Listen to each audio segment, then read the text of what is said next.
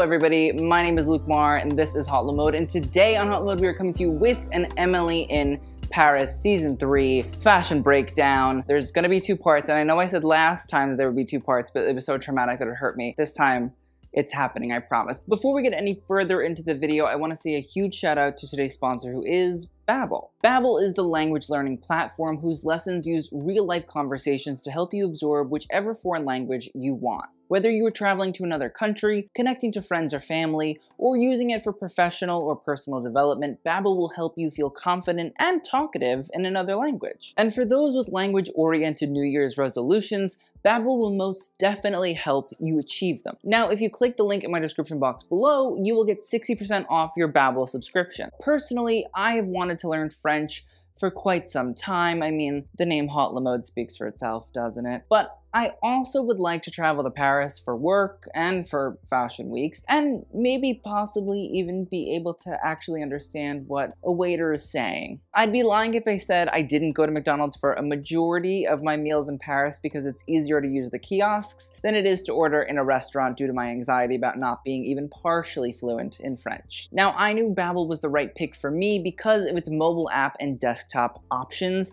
making it easy to access the lessons developed by real language teachers from just about anywhere. I also love that Babbel uses real-world dialogue in order to help you learn, and gives you the basics while still exposing you to words you will hear in frequent conversation as well. And whether those conversations are about things like travel, business, relationships, or more, Babbel will make sure you're prepared. Another issue that I find with language learning is it can be really difficult, and while you might be forced to take a class in something like a high school or a college, learning a language on your own is always going to be the more effective choice, which is why I love Babbel too. I picked it up, I want to learn it, and now here we are. I've also learned quite a few new phrases since using Babbel. One is Où sont les toilettes, which I'm shocked I have gotten away with not knowing for this long. There are some really cool grammatical things like the difference between vous and tu, which both mean you in French, but one is formal and the other is informal. And I've probably been being super rude to a lot of French people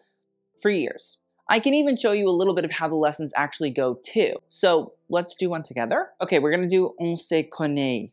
Je m'appelle Alice. Je m'appelle Alice. Appelle.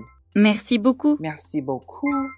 See, I'm kind of good at this, you know what I mean? My name is Alice. It's Je m'appelle Alice. Je m'appelle Alice. C'est Jérémy. C'est Jérémy. And you do the little accent, it's fun. This is what I like. There's like a dialogue element. Salut. Je m'appelle.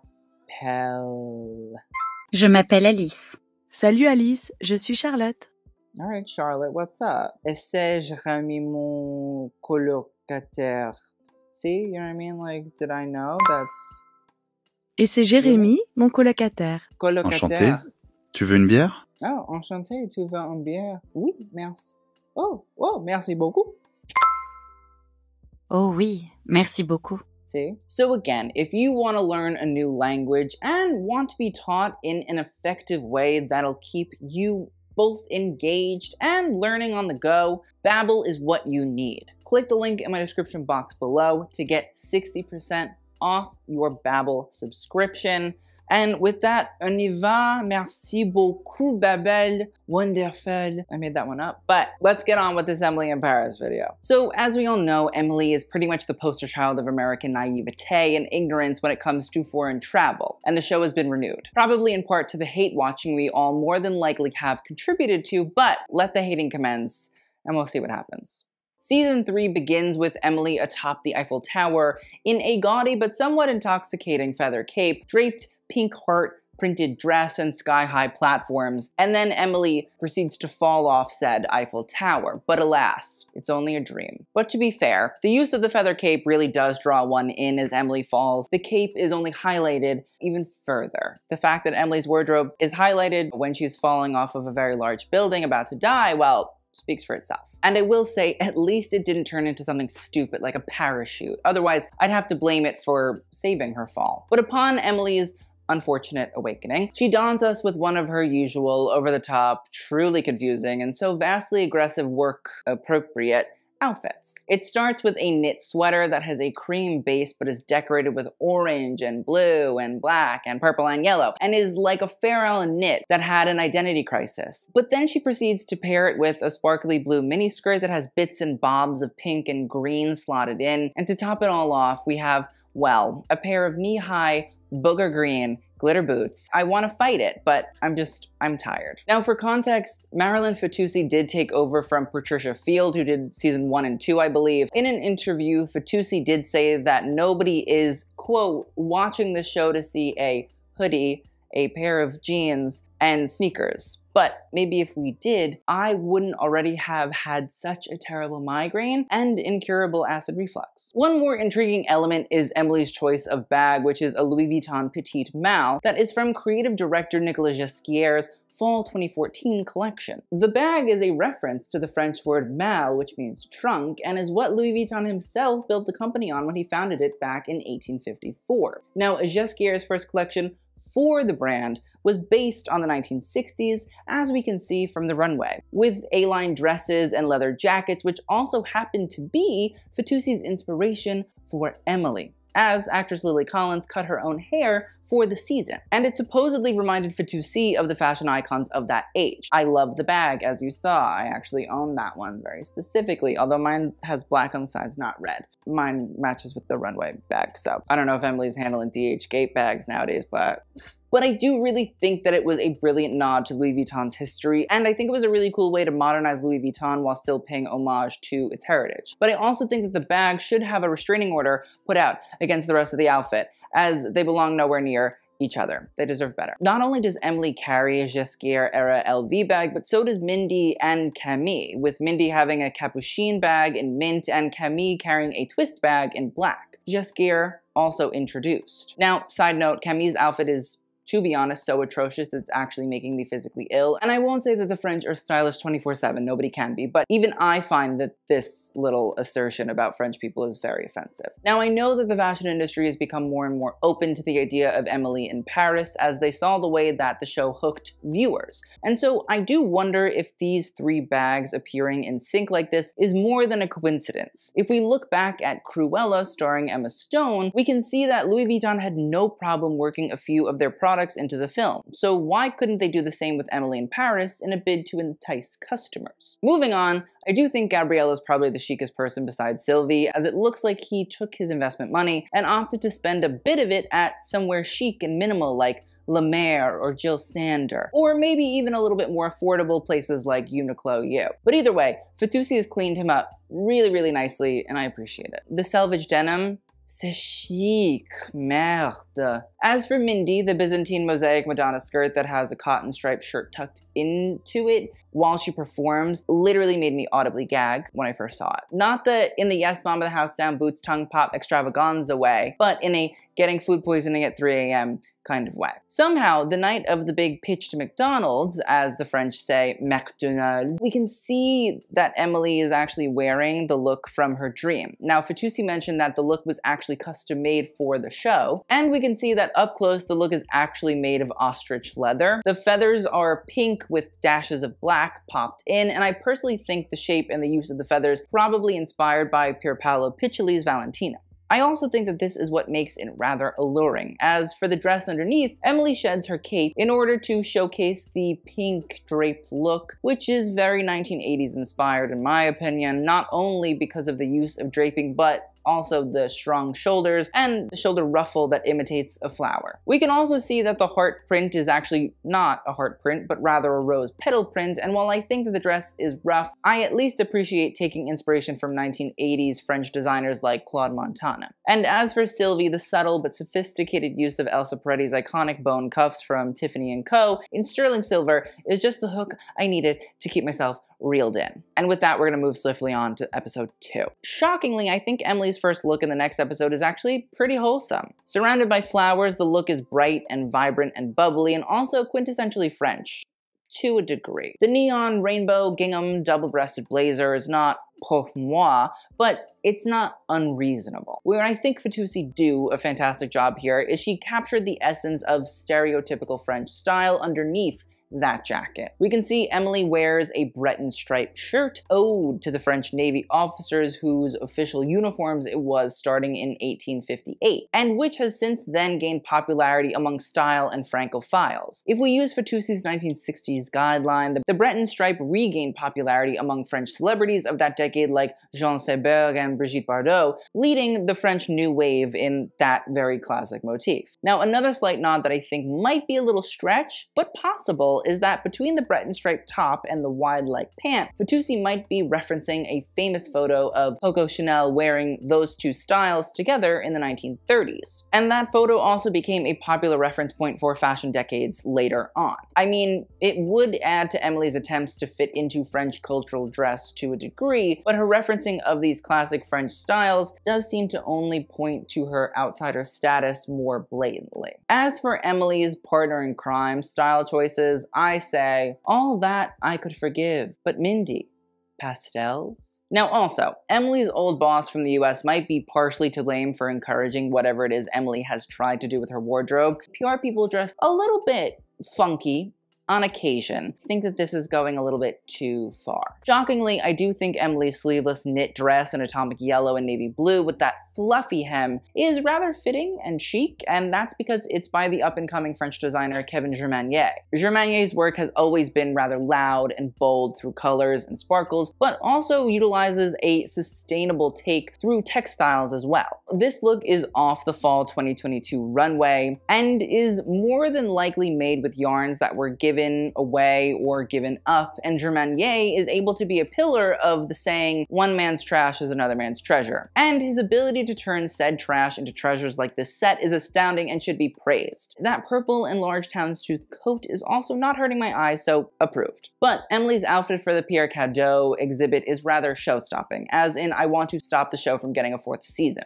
Please. I understand that the look is meant to be loud, but I don't know couldn't we find like an Alessandro Michele for Gucci look that fits the prompt instead of Dolce & Gabbana? I mean, people, please. Luckily, we are saved by Sylvie and Madeline both wearing custom Pierre Cadault dresses, and as we discussed, Pierre Cadault is more than likely based on the French fashion legend Pierre Cardin. And that's never been more evident than the black gowns that the two PR impresarias wear, with circular wired veils that almost most definitely reference the parabolic designs that Cardin popularized during his career, and their placement also might reference the wired veil that was popular during Elizabethan dress too. I mean, the Elizabethan wired veil also like exuded stature and power, which might reflect the dueling nature of Sylvie and Madeline, and so it's a cool Fitoussi reference. Of course, Sylvie takes the French simplicity route with minimal accessorization, while Madeline does American gaudy like nobody else, well, except her mentee. Now, JVMA, which I believe is meant to be a fake LVMH, the luxury conglomerate that owns Louis Vuitton, Dior, Givenchy, Fendi, Celine, and more, supposedly never uses outside PR, so Cadault selling to them is an issue for Sylvie. LVMH itself does actually use PR firms outside their in-house teams. Think that this is really just a plot point situation, just for reference. And the episode ends with Emily singing, which means we are moving on to the next one very quickly. Now, episode 3 starts with a sweet and petite look with the black wide leg pants, platforms, and a dashing orange Courrèges jacket with the AC logo on the pocket in white. The jacket isn't in the brand's signature vinyl, and so it makes it more believable that this is something that Emily fished out of a vintage stall, rather than her shopping at the chic Courrèges store on Rue Francois Hier, because if I think of her in that store, it will give me anxiety and I'll never be able to go back in there again. And that store is my literal single French safe space. Please just let me exist without Emily. But then we can see that Emily removes that Courrèges jacket and has layered a red and white Breton stripe top underneath with a cheetah print crop top cardigan, and I just really need to see the Courrèges again. Just put it back on. Don't take things off, please and thank you. As Mindy continues on with her performances, she does an ode to Dua Lipa and dons a neon yellow contour catsuit in homage to the Casey Cadwallader design styles that brought Mugler into the modern era. I do think that they should have just followed through on the look by using the Mugler and Jimmy Choo collaboration boots that match the outfit rather than the plastic versions they used, but this is Emily in Paris, expecting common sense is, well, a you problem, a me problem. An us problem, unfortunately. But I will say I do like the Mugler catsuit. Always looks good. Now, Emily's look when she finds out that Savoir is being ended feels like a Christmas disaster from the red and white Breton striped top paired with the green sweater, whose exposed hips I actually kind of love. Just not together. And while the skirt reminds me of the great Patrick Kelly, it's not Patrick Kelly, and it doesn't remind me of him enough to make it work with the outfit either. Now, I do love that Sylvie, when Agence Grateau opens officially, is wearing an all-white and cream look, almost like there is a blank slate for her new venture, and I can't deny that that billowing sleeve top is very, very cool, and that's the end of episode 3, thank God. Episode 4 starts with Emily in an orange top with blue faux embroidered needlework motifs. I think live streaming herself in that alone should have gotten her banned from all social media platforms. As for Camille, the black overalls with the white button down and the veil trimmed beret should be a red flag for any artist looking for representation for her.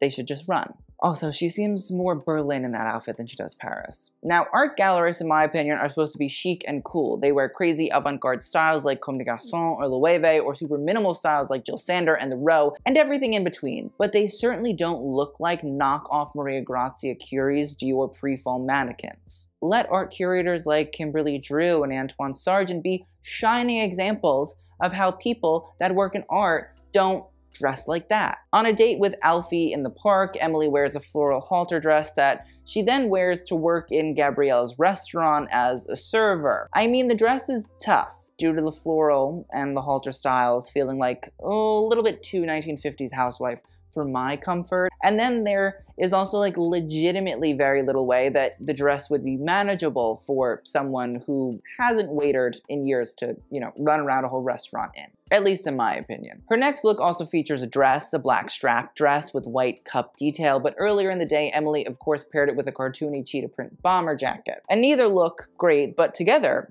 they're abysmal. The night of Camille's big art installation at the gallery, she does actually wear a Schiaparelli jacket by Daniel Roseberry, and I think it was a brilliant way to go about dressing her.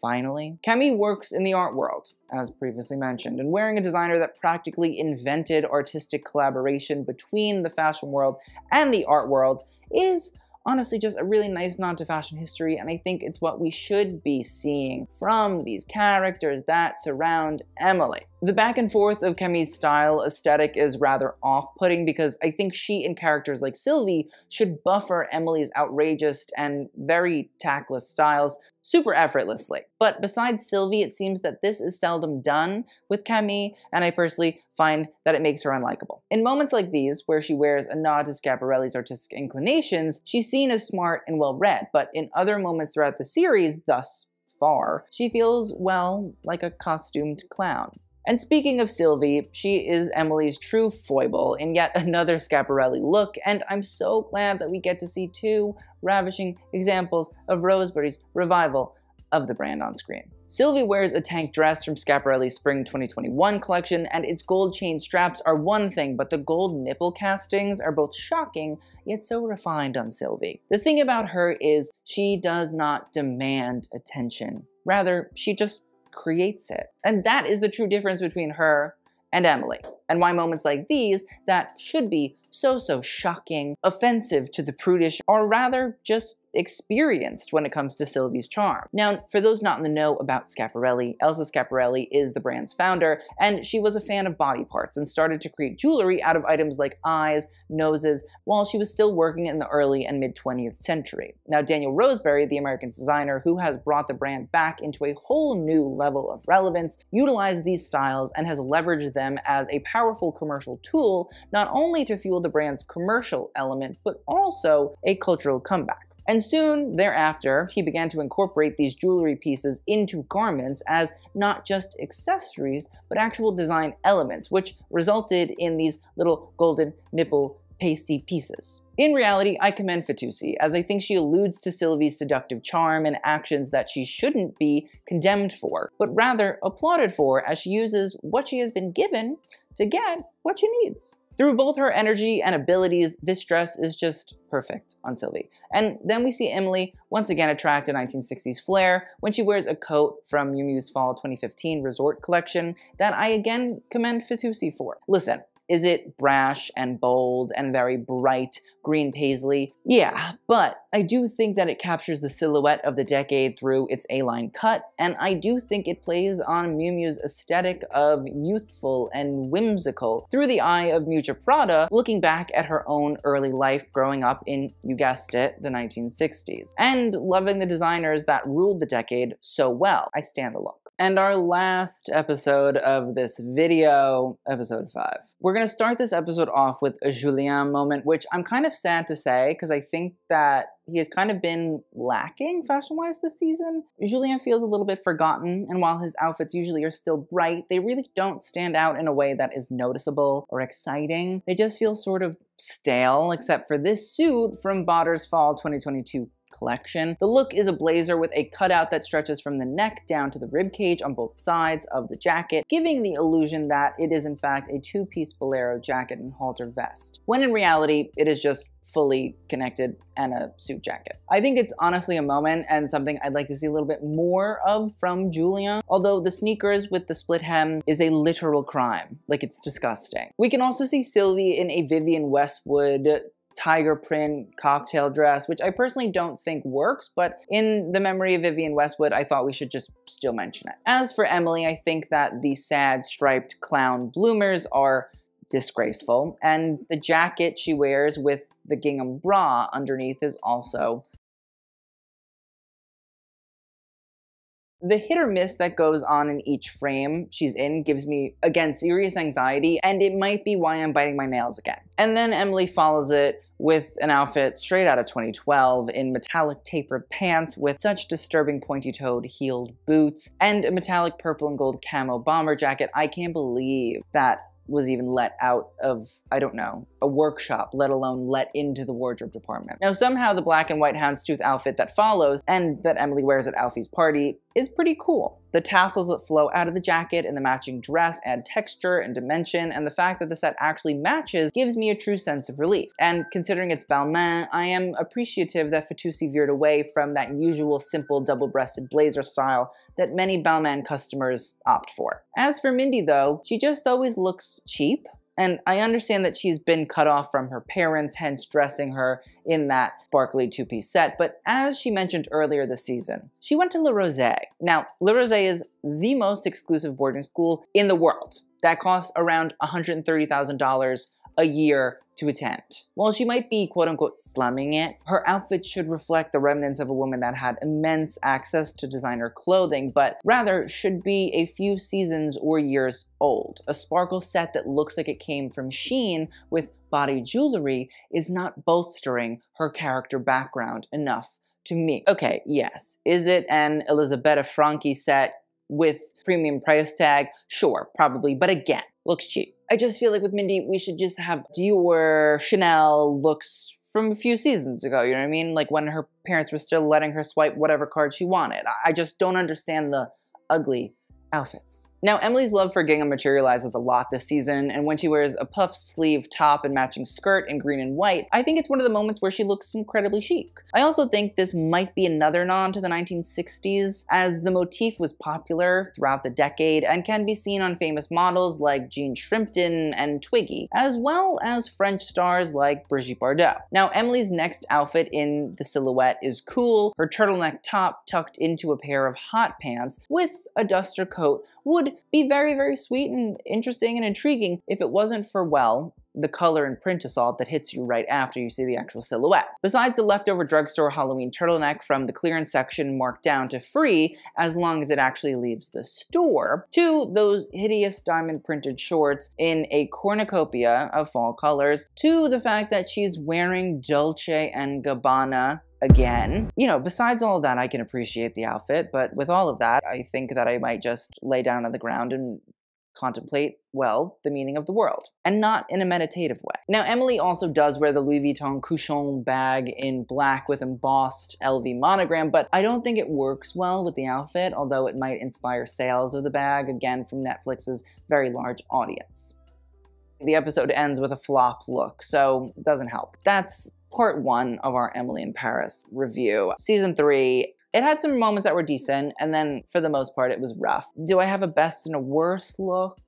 No. Not really. They all mashed together in a cacophony of disastrous stylings. And I do actually appreciate Marilyn Fitoussi a little bit more than I did Patricia Field, to be completely frank and fair. I think the idea of the 1960s, constant tie-in, and little elements and references is really cool, and so I do appreciate her. And to be serious, I do think there were some intriguing and nice outfits both on Sylvie, on Emily, but again, it's still Emily in Paris, so you constantly question what is going on. Part two will be out soon. I promise it will actually materialize. I want to know what you guys think in the comments down below. Did you like the season? Did you watch the season? Could you not stomach the outfits and so you threw up your lunch? Who knows? Again, thank you guys for watching. I will see you guys in the next one and TTYL.